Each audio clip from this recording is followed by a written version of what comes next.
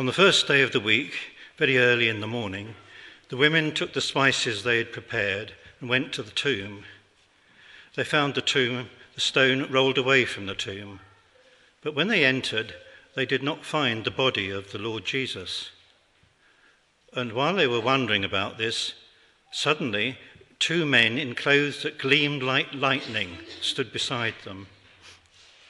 In their fright, the women bowed down with their faces to the ground. But the men said to them, Why do you look for the living among the dead? He's not here, he has risen. Remember how he told you while he was still with you in Galilee the Son of Man must be delivered into the hands of sinful men, be crucified, and on the third day be raised again. Then they remembered his words. When they came back from the tomb, they told all, all these things to the eleven and to all the others. Uh, and it was Mary Magdalene, Joanna, Mary the mother of James, and the others with them who told this to the apostles. But they, they did not believe the women because their words seemed to them like nonsense. Peter, however, got up and ran to the tomb, and bending over, he saw the strips of linen lying by themselves, and he went away, wondering to himself what had happened. This is the word of the Lord.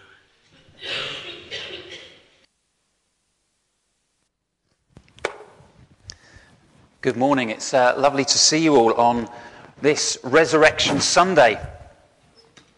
So, has anyone eaten their Easter eggs now? Anybody? Anyone? No one? Just a few. Elliot has? No one else? Eleanor has? Kay has, okay. I'm afraid I can't remember your name, but you have as well. That's, that's great. You've eaten your Easter eggs, have you? Was it? Not all of them, okay. Just, just some of them. Only one? You've got loads. I've got one. You should see the size of it. It's about this big. And I haven't, I haven't opened it yet, I haven't touched it.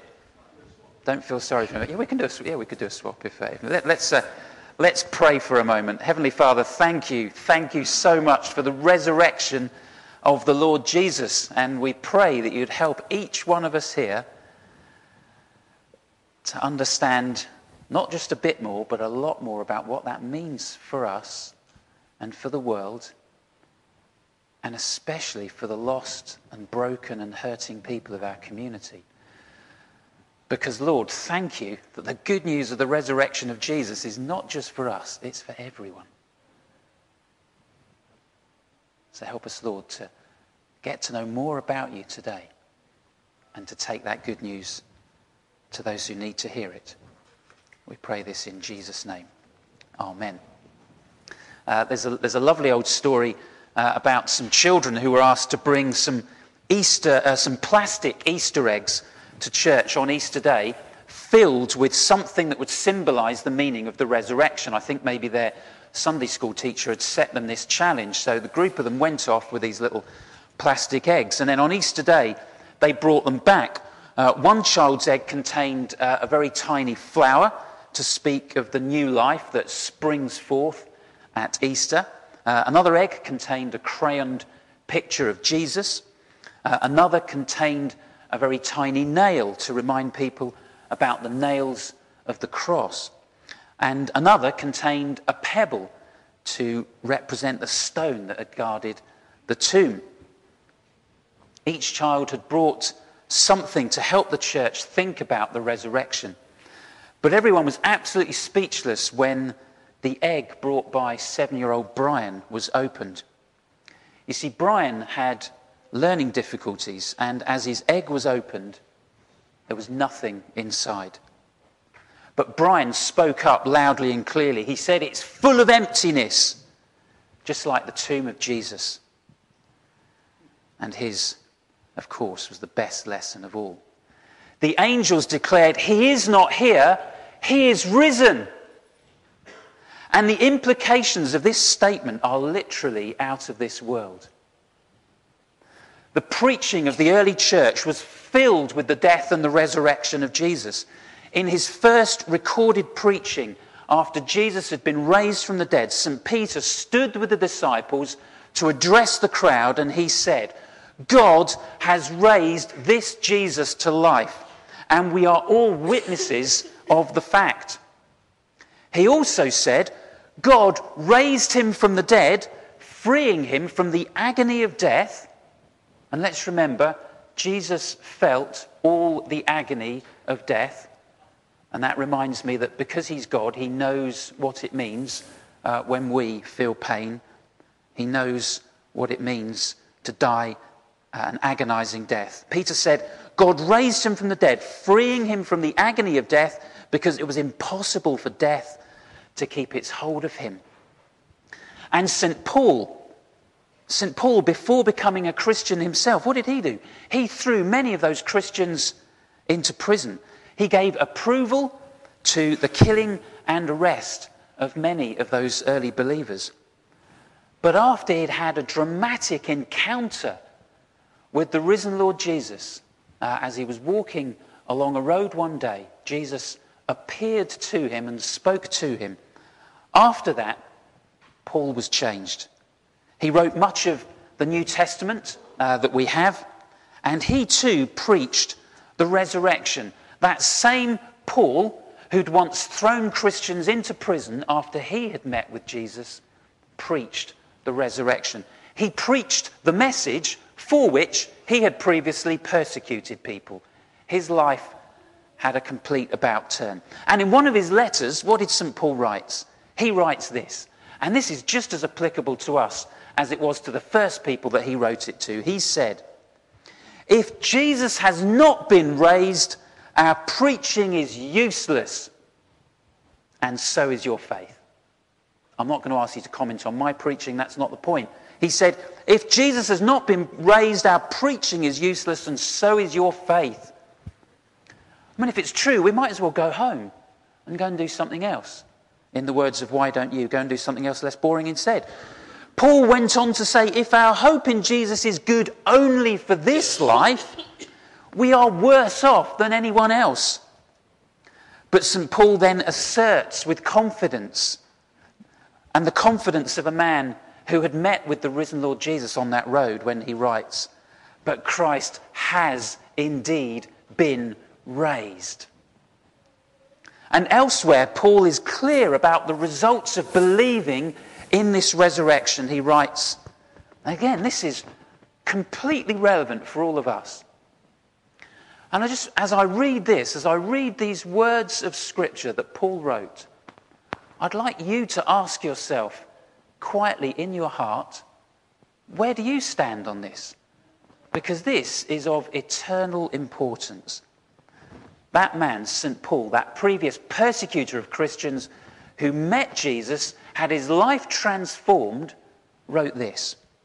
He writes, If you confess with your mouth Jesus is Lord and believe in your heart that God raised him from the dead, you will be saved. And Paul's also clear about the power for resurrection living. He wrote this If the spirit of him who raised Jesus from the dead is living in you, he who raised Jesus from the dead will also give life to your mortal bodies through his spirit who lives in you. So, those words spoken by the angels at the empty tomb on that first resurrection Sunday they're not just for those first believers, they're for us here too. He is not here, He has risen. Friends, this is good news. This is really good news that Jesus has risen. It's good news because if He hasn't, we're wasting our time here right now. But He has risen. I mean, does anyone want to waste their time here this morning? I don't. He has risen. Therefore, we're not wasting our time here this morning. William Sangster was the senior Methodist minister at uh, Westminster Central Hall Methodist Church during the Second World War and beyond. And Sunday by Sunday, 3,000 people would gather to hear his passionate preaching. In the 1950s, uh, Sangster was diagnosed with the neurological disorder muscular atrophy, and it progressively paralyzed his body. It eventually uh, got his vocal cords. But at Easter, just before he died in 1960, I think he was 59 when he died, just before he died, it was Easter, he managed to scribble a note to his daughter. And the note said this How terrible to wake up on Easter and have no voice to shout, He is risen. But the note ended like this He said, Far worse to have a voice and not want to shout. Far worse to have a voice and not want to shout. He is risen. He is risen Hallelujah. He is risen indeed. Hallelujah. The implications of the resurrection of Jesus are literally out of this world. But the implications impact this world right here, right now. He's risen. If you've put your trust in Jesus, then his spirit lives in you. And if his spirit lives in you, then that is the same Holy Spirit that raised Jesus from the dead. What was dead has come to life. And that includes you and me. That means that when our bodies die, our spirits do not die. We go to be with Jesus. And when he comes back to the earth as he promised to do, we will live with him with the new resurrection body that he's promised to give us. And I don't know about you, but my body, this one, is starting to wear out. I mean, I'm not complaining, but I'm starting to get grey hair. I've been starting to get grey hair for a long time. It's one of the signs of my body wearing out. My neck aches all the time. I'm looking forward to my resurrection body where my neck will not ache. Bring it on. We were dead in our sins, but now we're alive in Christ. But that same power is in us. We sometimes seem to live, though, as if that power that raised Jesus from the dead is not in us, but it is in us. And that has big implications for who we are and what we do and how we live. His resurrection healing power is in us. But that healing power is not for me to heal myself. That resurrection healing power is to be poured out for the lost, for the lonely, for the hurting, for the broken, for the sick in our world. I wouldn't be surprised at all, actually, if this old neck of mine doesn't get healed until I'm with Christ in glory. I would not be surprised at all. That doesn't mean I don't have the faith to believe that it may be. But the Spirit of Christ living in me is in me to be poured out, just as Jesus was poured out for the lost, the lonely, the hurt, the broken, the sick. And that Spirit that lives in me is to be poured out for others in the same way. That Spirit living in you is to be poured out for others. Jesus said, I tell you the truth, anyone who has faith in me will do what I have been doing. I'm going to say that again. Jesus said, I tell you the truth, anyone who has faith in me will do what I have been doing. At no point did Jesus try to save himself, and that's really important. At no point did he try to save himself. He was always seeking to save others.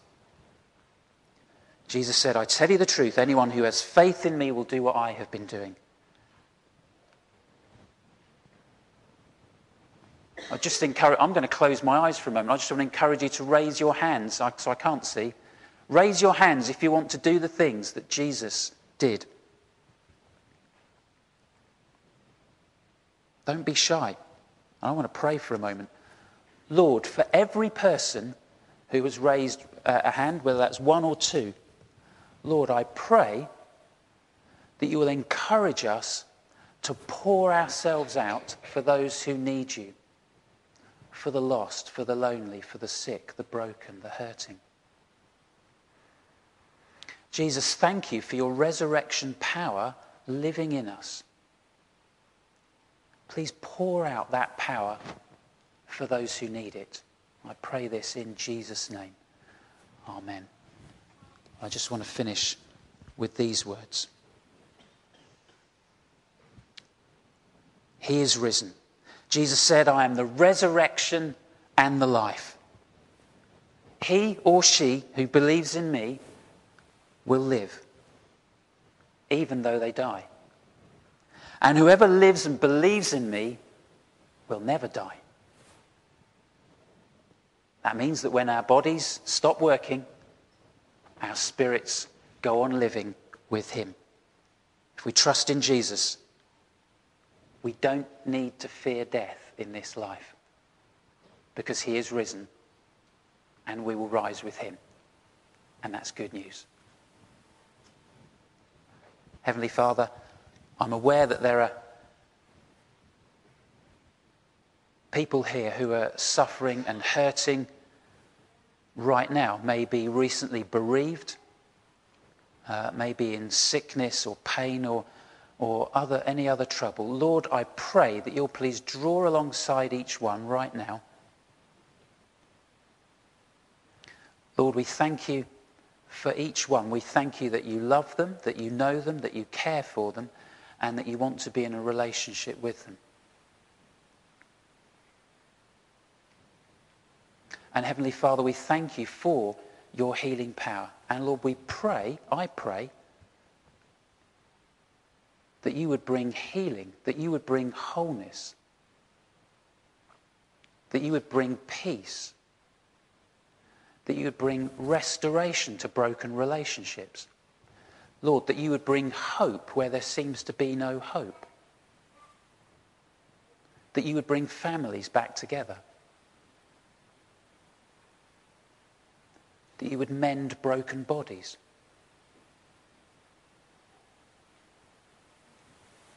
I pray this in Jesus' name. Amen.